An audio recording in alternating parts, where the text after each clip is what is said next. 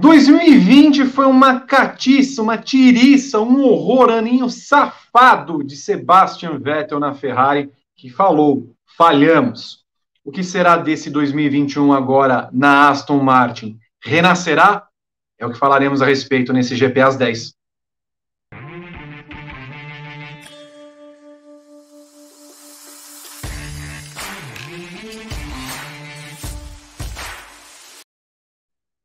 Amigos do Grande Prêmio, tudo bem com vocês? 2021 chegando. Feliz ano novo para todos mais uma vez. Trago Fernando Silva para falar a respeito deste homem tetracampeão mundial lá em 2009 a 2003, 2010 a 2013, mas que depois nos anos de Ferrari um ou outro brilhareco, teve aquele 2018 naquele GP da Alemanha uh, marcante. No final das contas, saiu mal da Ferrari num ano péssimo que teve no ano passado e agora tem mais alguns bons anos pela Aston Martin, a descendente da Racing Point, que ganhou no ano passado uma corrida com Sérgio Pérez e foi pole com Lance Stroll no GP da Turquia. Fernando Silva, traga para nós o que será de Sebastian Vettel em 2021? Quais os prognósticos? Tudo bem, Fernandão?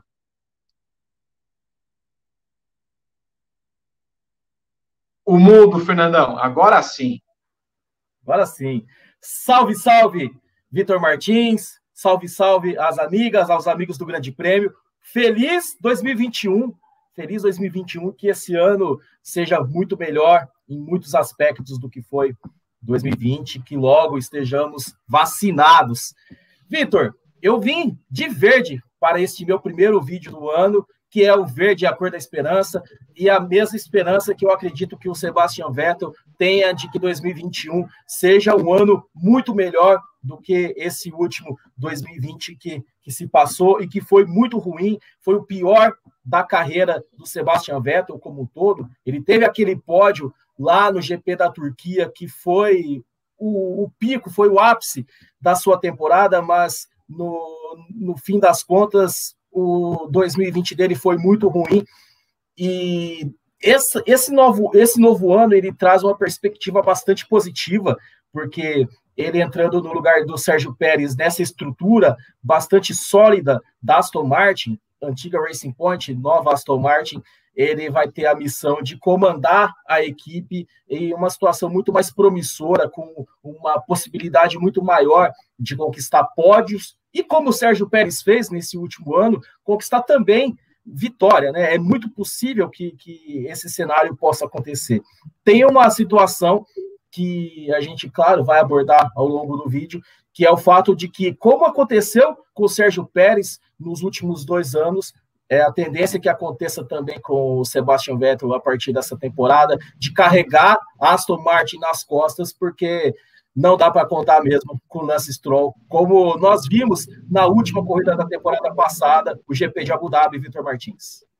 Pois é, Lance Stroll que precisava em determinado momento dois pontinhos, coitado, para ser o terceiro colocado no campeonato, colocar a Racing Point como terceiro colocada, e no final das contas, na última volta, ele tomou uma ultrapassagem do Esteban Ocon, não que faria diferença naquele momento, mas para se ver como não dá para contar com Lance Stroll ainda. O ponto é, Fernandão, nós vamos falar, claro, a respeito disso, de como ele vai ser o líder na, nessa Aston Martin nesse ano, e está aí a foto dele, sem a roupagem Ferrari.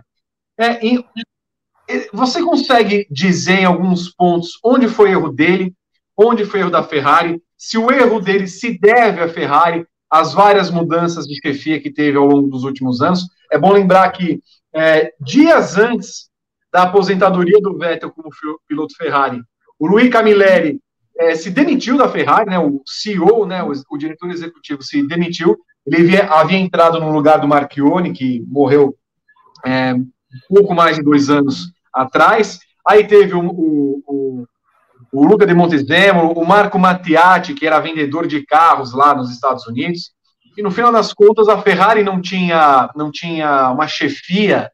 O problema, o problema do Vettel é essencialmente o mundo Ferrari. Ô, Vitor, eu vou, eu, eu vou começar do fim para depois abordar um pouquinho desse contexto. é, uma das imagens mais marcantes desse fim de temporada foi da entrevista coletiva que o Sebastian Vettel deu lá no, no fim de semana do, do último GP de 2020, GP de Abu Dhabi, e a expressão dele era muito envelhecida. Como ele envelheceu em cinco anos, né? Aquilo foi incrível, né? Porque assim, ele tem 33 anos, mas é, parece até que tem mais. E esse, esse aspecto todo é, me faz pensar o quanto a, o ambiente Ferrari exerce uma pressão acentuada sobre seus pilotos.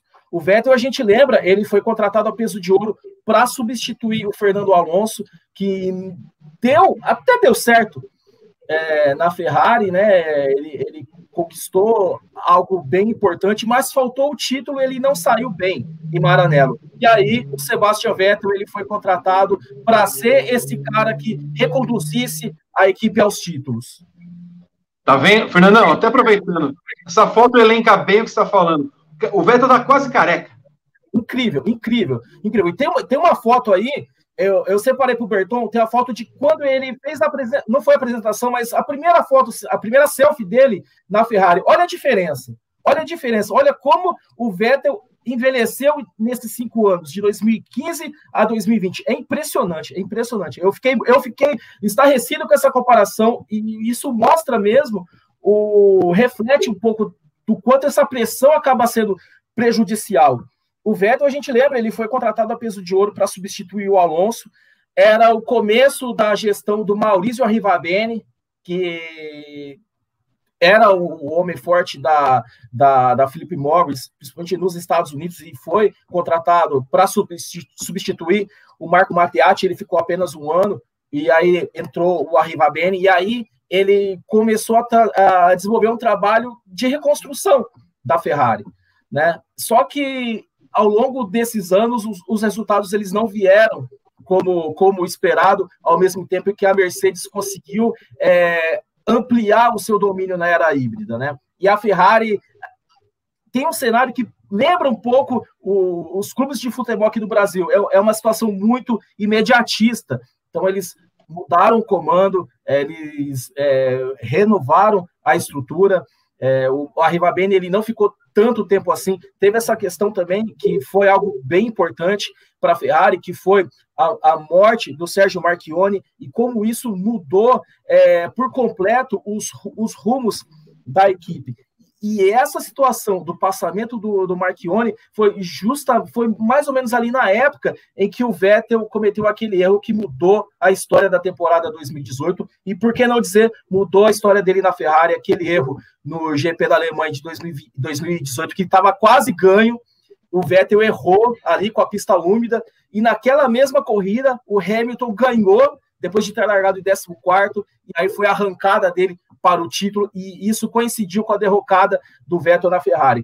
Aí prevaleceu a decisão do que era o desejo do Marchione de promover o Charles Leclerc, que fez uma grande temporada de estreia na Sauber, ele foi promovido a titular da Ferrari. O desejo do Arrivabene era manter o Kimi Raikkonen ao lado do Sebastian Vettel, que era uma situação cômoda, porque o, Vettel tendo ao lado o Kimi Raikkonen, um companheiro de equipe que tinha seus brilharecos aqui e ali, mas é, não conseguia impor a pressão que o Leclerc passou a impor em 2019. Então, esse foi o começo do fim do Sebastian Vettel. Tanto que as duas últimas temporadas, 2029 e do ano passado, 2020, foram muito ruins, muito difíceis, com muitos erros, poucos acertos.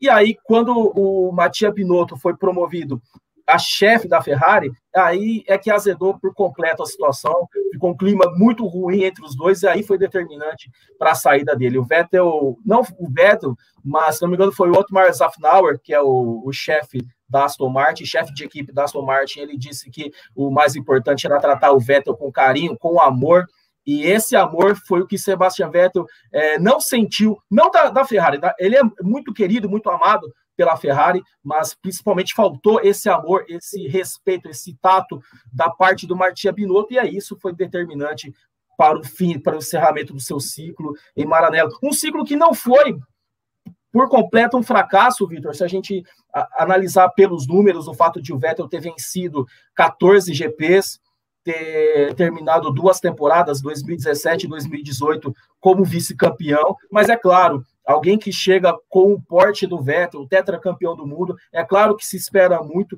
mas toda essa movimentação política dentro da Ferrari, é, essa instabilidade nos bastidores, é claro que acaba comprometendo o desenvolvimento da equipe na pista e claro que o Vettel acabou sentindo. Então, na Racing Point, nesse 2021, é, vestido de verde, um verde rosa, meio mangueira, ele vai ter toda essa possibilidade de finalmente renascer e mostrar como ele mostrou naquele brilha, brilha, brilha, brilhareco lá no GP da Turquia, que ele ainda tem lenha para queimar, que ele ainda pode mostrar que ainda é o Sebastian Vettel, que nós nos acostumamos a ver, um grande piloto e uma grande pessoa também.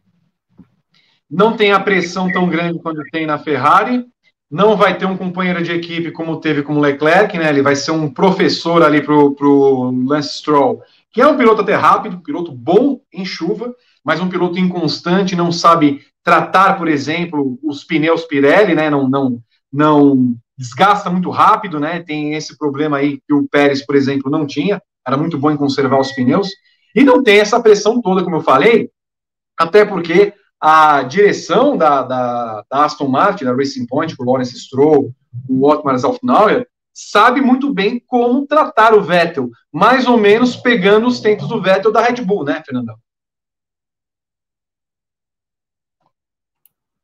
Essa é a ideia, na verdade, essa é ideia, saber é, que o Vettel tem, tem ainda tem muito a corresponder, e eles têm esse parâmetro de como o Vettel foi, foi tratado nos tempos em que ele se tornou o Sebastian Vettel, né? O Sebastian Vettel, tetracampeão do mundo no começo da década passada, né? Então, assim, é, é o parâmetro ideal do Vettel sendo esse, esse líder, esse cara capaz de elevar a Aston Martin a um novo patamar, a uma equipe de, de ponta mesmo da Fórmula 1. Então, essa é a grande aposta. E foi uma grande aposta e foi isso que fez com que a Aston Martin dispensasse o Sérgio Pérez, que é um pilar, é uma bandeira dessa equipe, é, correndo desde 2014, quando ainda se chamava Force India. Então, assim, eles tiveram de abrir mão de um piloto muito bom, muito eficiente, vencedor de corrida na Fórmula 1, para contar com alguém com Sebastian Vettel. Então, assim, não é pouco.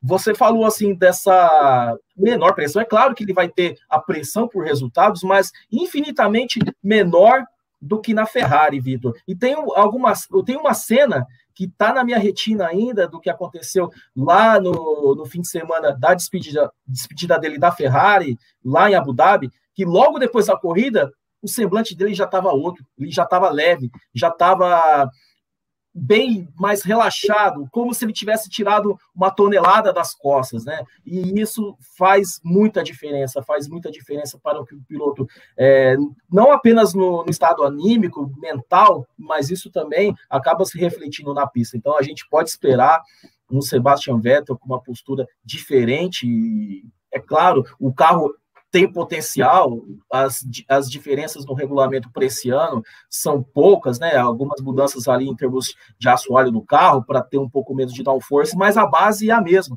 Então, assim, diante dessa perspectiva, a gente pode esperar um Sebastian Vettel muito mais combativo, um piloto muito mais eficiente e com essa capacidade de liderar a equipe Aston Martin nessa temporada 2021. O que a bola de cristal de Fernando Silva traz para Sebastian Vettel em 2021? Eu prevejo, Vitor Martins, Sebastian Vettel vai vencer duas corridas em 2021, vai beliscar pelo menos outros dois pódios, vai mostrar ao mundo que ainda tem muito potencial ali, tem muita capacidade, tem muita, muita lenha para queimar nesses próximos anos de Fórmula 1. Vai ser um grande ano para Sebastian Vettel. O pai, Fernandão, está prevendo isso para o futuro Sebastian Vettel em 2021. O que você em casa prevê para Sebastian Vettel? Coloque aqui nos comentários desse vídeo, nós queremos saber a sua opinião e debater com você nesse espaço do Grande Prêmio. Não se esqueça de uh, dar o like nesse vídeo, de se inscrever no canal, ativar as notificações, sempre é muito válido para nós. Grande 2021 para você, Fernando Silva. Para nós, meu rei, muito axé, muita força, muita saúde, muita energia que esse 2021 e muita vacina também, que esse 21 possa trazer muita saúde, muita energia para nós, muito trabalho também, que possamos relatar grandes momentos do esporte a motor em todos os aspectos. Conte comigo sempre. Tamo junto. Valeu demais. Tamo junto, Fernandão. Obrigado por tudo. E para você em casa, um grande abraço. Fique aqui no canal do Grande Prêmio no YouTube. Tchau.